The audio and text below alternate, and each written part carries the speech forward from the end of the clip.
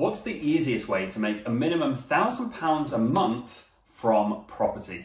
Hey, it's Chris here from Property Abundance, and in this video, we're going to look at the different strategies that you can use to generate returns of up to £1,000 per month just from property. Now, look, the first thing we want to address is why you should be investing in the first place. And there's tons of reasons that you need to be investing for your future. Firstly, if you're in a job or an employment, you need to have additional sources of income. Okay, it's never been more the case than it is right now. Look how turbulent the world is right now. Look how we've had you know, kind of back-to-back crises, right? We had um, COVID, a bunch of people got laid off work, all of a sudden weren't sure where their salary was coming from. We've had the uh, Russo-Ukrainian war that continues to this day, sending inflation through the roof, and all of a sudden people that could just about afford to live from what they were earning now can't. You know, so it's never been more important really than to have this additional stream of income coming in so that you are never reliant on just one source. So, with that said, why do I think you should be in property? Well, look, property is always and has always been the safest investment out there.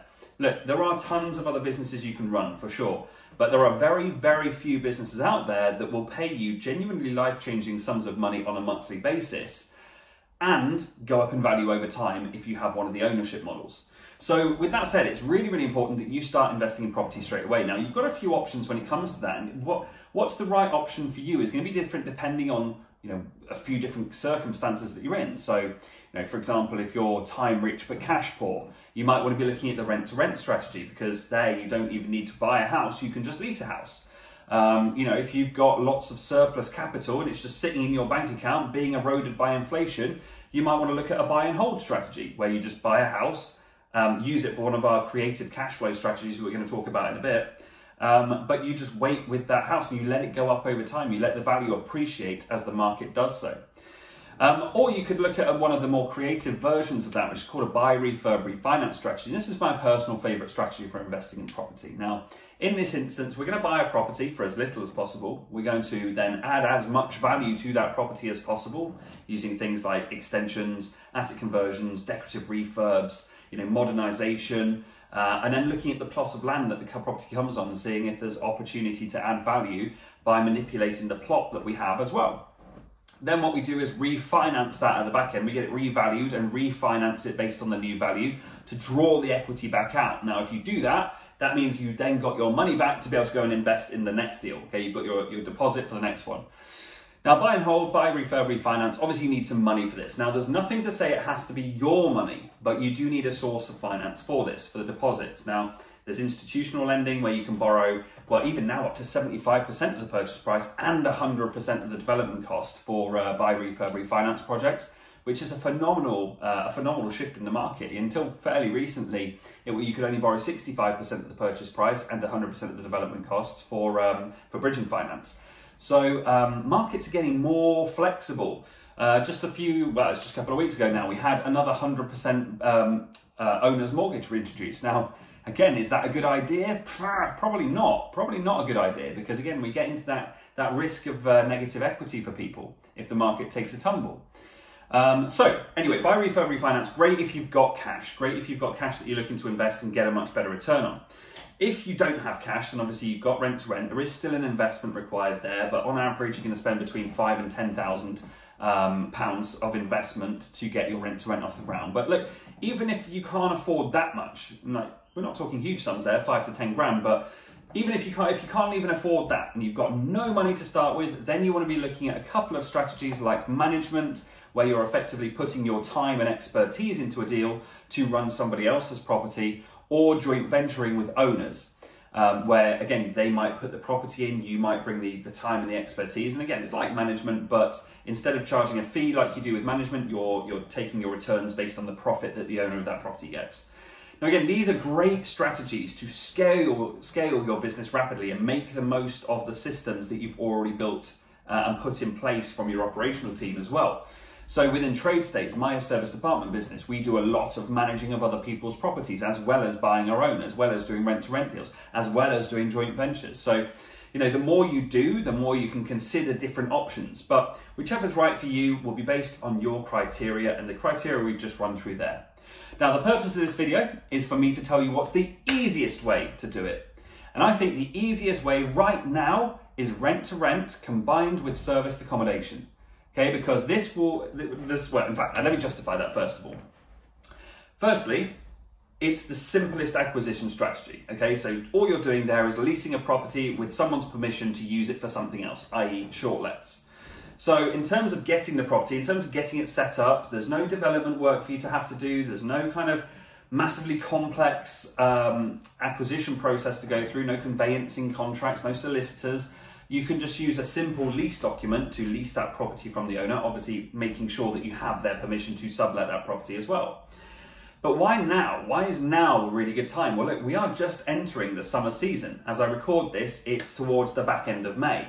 So we are really now into the summer season, and we're seeing across the board our occupancy rates have absolutely skyrocketed we are trying to source properties faster than ever before simply because we um, like we filled all of them. So whenever we go into management clients and we're pitching management clients for our trade state service, we're you know one of our opening things is well look we've got bookings waiting to go into your property right now. So you know if we manage your property, they're yours. They'll go straight in.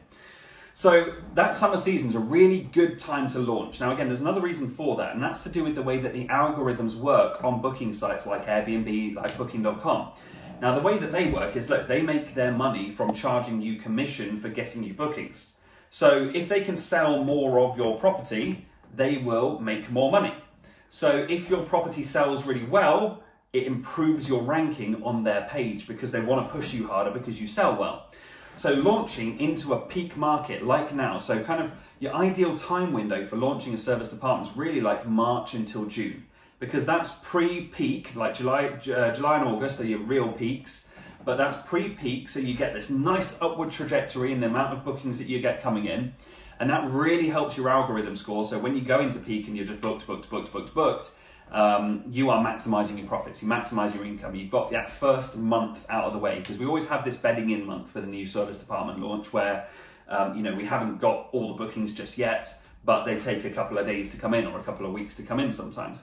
So that, that gets the first month out of the way in the quiet time. It gets you some really good bedding in time and it means you can charge higher prices later in the season and really maximize your occupancy. So summer season makes it a great time to launch. Now also service accommodation is really, really simple right now because it's completely unregulated. Okay, there's no regulation that means you don't have to get a license, you don't have planning permission requirements at the moment. That may change in the future, but right now you don't need any regulations, so you can just crack on. It's a permitted development. You just get the property, you stick it on Airbnb, you get going. And that leads me nicely into the third one as well, which is there are established marketing platforms out there that you can just jump straight onto, like the Airbnbs of the world. Now, Booking.com's a little harder because there's a bit more regulation there. They like to check you out a bit more and make sure that your property is legitimate. But with Airbnb, you can literally set, get set up and get it live within just a couple of hours. So these established marketing platforms make it really easy for you to actually sell and find customers for your property as well. So, because of the summer season, because of a lack of regulation, and because of the fact that there's established marketing platforms, if you're looking to make a thousand pounds per month on average from a property in the simplest way, Right now, my go-to strategy for you would be rent-to-rent service accommodation. Now look, if you want to learn how to do that, please check the description down below, or depending on where you're watching this, you may want to check the comments as well. Uh, and there will be a link where you can book a 30 minute call with one of my team where we'll help you get clear on exactly how you can get into that strategy, what your next step should be. So we'll spend a little time getting to know you, where you are on your property journey right now, and then give you advice of what your best next steps would be to progress that forward. If you're looking to make a thousand pounds a month from property you don't even need to own. Now look, if you found this video useful, if you want to stay up to date with regular tips and tricks out of my own multi-million pound property and well, serviced accommodation business, please make sure to drop a like on this video. Please comment down below what was the biggest takeaway from this. And also hit the subscribe button to make sure you stay up to date with all of that extra content. Now, if there's, by the way, if there's something else you want a video on, go ahead and let me know in the comments as well. I'm always open to suggestions on our content. We have a content schedule a few weeks in advance, but what we've always got is like a rolling schedule. So if you want to uh, get a video done on a specific thing, if you want me to talk about a specific area of my business, go ahead and let me know in the comments what that is, and I will release a video for that onto the content schedule as well. Other than that, guys, have an awesome day, and I'll see you soon. Bye bye.